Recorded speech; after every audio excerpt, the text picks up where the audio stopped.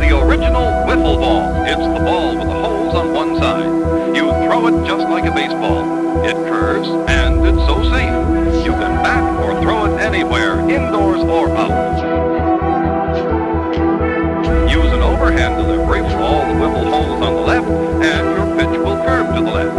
Throw the wiffle ball with the holes on the right, or a breaking curve right. or a curving upshoot, deliver sidearm with wiffle sidearm with the holes on the bottom. It's that simple. Watch Jimmy curve the ball.